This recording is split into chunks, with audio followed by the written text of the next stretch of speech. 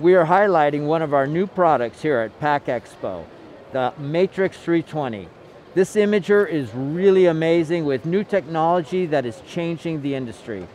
The Matrix 320 is our newest and most powerful member of the Matrix Imager family. One of the really nice features that I like about the Matrix 320 is this programmable illumination bezel. The nice thing about this is it gives you immediate feedback on how the camera is reading. So for instance, right now you're getting a good read, and now you're getting a no read. So you can immediately tell what's going on. Uh, the Matrix 320 has an incredibly powerful processor and a very fast sensor running at 33 frames per second. You can see here that it can read moving barcodes at a very high rate.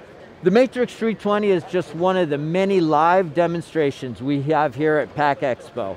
So come on down to booth 6469 and check out all of our industrial traceability solutions.